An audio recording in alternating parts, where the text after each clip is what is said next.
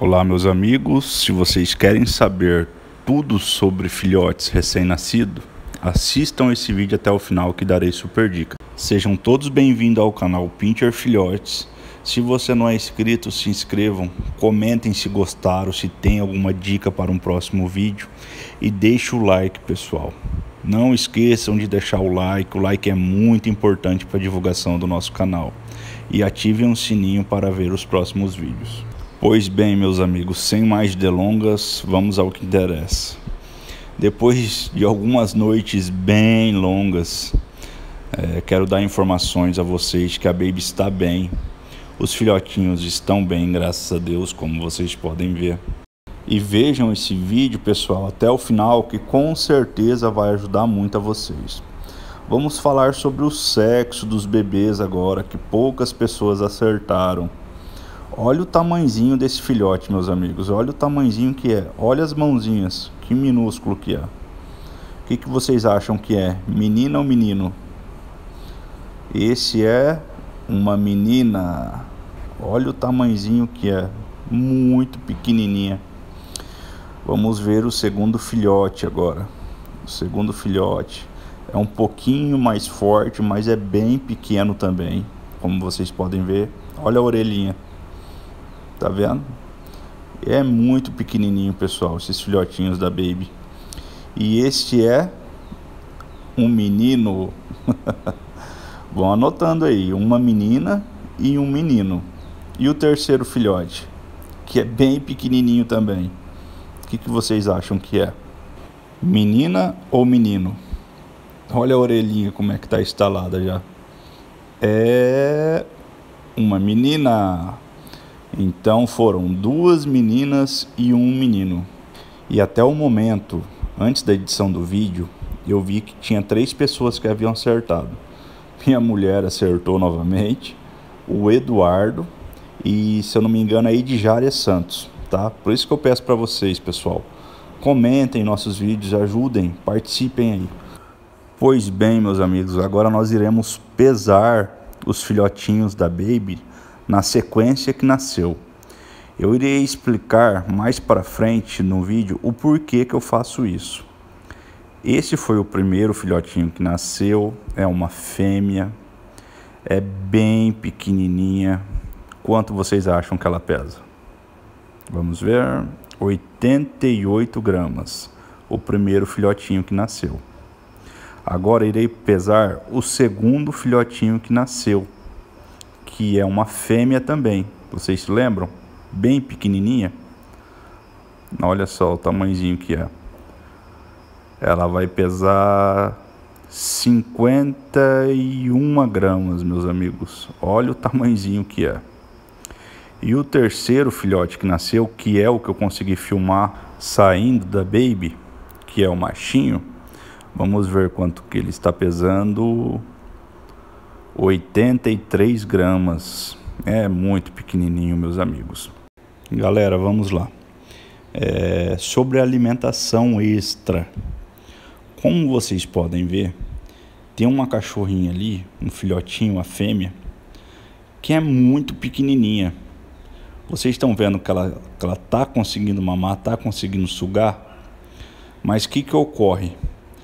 Tem filhotinho que nasce nesse padrão, nesse porte, que não consegue mamar, não consegue se alimentar direito, ou a mãezinha rejeita os bebês. Já aconteceu conosco. Aí eu vou estar dando algumas dicas para vocês, justamente para ajudar vocês neste momento bem difícil. Neste caso, com essa filhotinha que nasceu a menorzinha, nós não fizemos alimentação extra.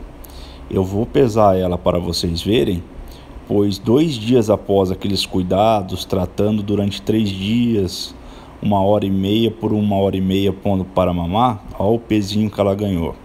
Ela tinha 51 gramas, né? Agora ela tá com 60 e 62 gramas, 62 gramas, ganhou 11 gramas em praticamente 3 dias.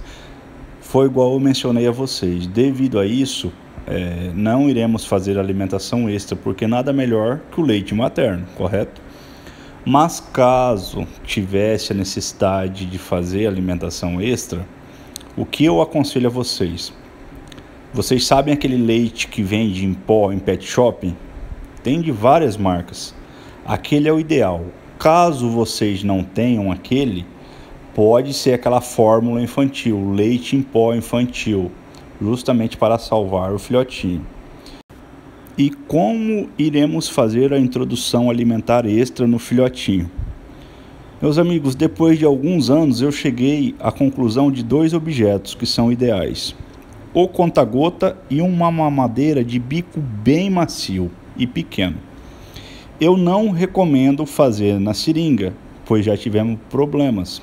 Por quê? Eu vou tirar aqui para vocês verem. Tá vendo essa borrachinha da seringa? Quando nós colocamos e apertamos, ela vai muito rápido e tem umas que não tem a borrachinha, às vezes trava e vai de uma vez. Vocês estão vendo? Para o cachorrinho engasgar e bronco aspirar é muito fácil e o cachorrinho pode vir a morrer. E devido a isso, eu não recomendo fazer com a seringa devido a essas situações. Sendo assim, nós chegamos à conclusão que os dois melhores objetos para fazer a introdução alimentar no filhote é o conta-gota ou uma mamadeira de bico bem macio, nunca uma seringa. Eu vou mostrar a vocês essa mamadeira aqui, que ela tem um bico bem macio e ela é bem pequenininha. Eu demorei a achar ela, mas assim, graças a Deus conseguimos. Vocês estão vendo o tamanhozinho do bico dela, que é bem pequeno. E ele é bem macio, vou mostrar aqui a vocês, ó. É bem macio. Essa é ideal para fazer alimentação nos filhotes. E sempre que forem fazer alimentação nos filhotes, vocês fazem de barriga para baixo. Sempre na posiçãozinha que eles costumam mamar na mamãezinha. E se forem fazer no conta-gota, sempre fazem de 5 a 10 gotas no filhotinho a cada uma hora e meia. Nós fazemos 5 gotas durante três dias, uma hora e meia, uma hora e meia. Posterior a isso, vamos aumentando conforme a necessidade do filhote. Barriga murcha e choro é sinal de fome. Barriguinha cheia e dormindo é sinal que ele está satisfeito. Vocês aí podem estar aumentando o intervalo dos mamazinhos do filhote, fazendo em duas horas e meia em duas horas e meia. E caso eles estejam com a barriguinha cheia e mesmo assim chorando, um sinal característico é que eles querem fazer as necessidades fisiológicas dele, o xixizinho e o cocô. E eu vou mostrar aqui como que a mãezinha deles fazem para eles fazerem o xixizinho e o cocô. Ela lambe todas as partes íntimas do filhotinho ali, estimulando eles a fazerem o xixizinho e o cocô deles. Mas caso a mãezinha não esteja presente, você pode estar molhando um algodão ou uma gases com água não muito fria e não muito quente e está passando, fazendo este movimento, estimulando eles a fazerem o xixizinho e o cocô. Neste caso a filhotinha não fez, devido a Baby já ter estimulado e limpado ela. Mas mesmo assim, eu quis demonstrar a vocês como que é o procedimento. E depois desses processos, pessoal, vamos para a última dica. Como dizemos, vamos deixar o melhor por último. Esse suplemento aqui, vocês devem ter reparado ao fundo do vídeo, se chama Nuxel Nel. É uma bisnaguinha de 2 gramas, como vocês podem ver. Ele é um suplemento vitamínico que acaba nos ajudando muito com os filhotes que nascem fraco. Nós pingamos uma gotinha na ponta do cotonete e passamos na boca do cachorrinho de manhã e à tarde. Nós fazemos isso durante uns 5 dias e isso nos ajuda muito, muito, muito. Devido a isso, até as mãezinhas, quando estão gestantes, nós fazemos quatro durante a gestação. 15 e 15 dias, devido à gestação ser 60 dias, né? 15 e 15 dias vai dar quatro vezes.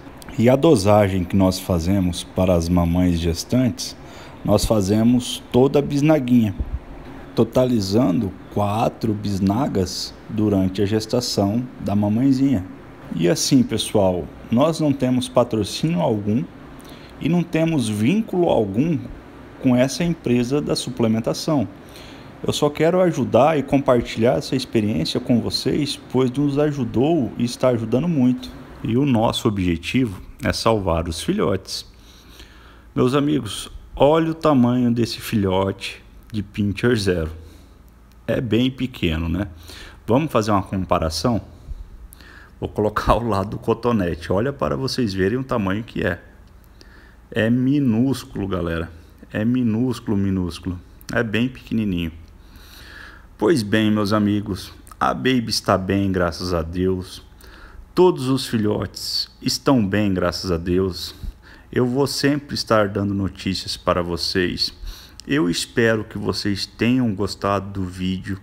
Se vocês não deixaram like, não esqueçam de deixar o like, pois é isso que vai ajudar ao nosso canal crescer. Eu quero agradecer a todos de coração. Um abraço bem forte a todos. Fiquem todos com Deus e até um próximo vídeo.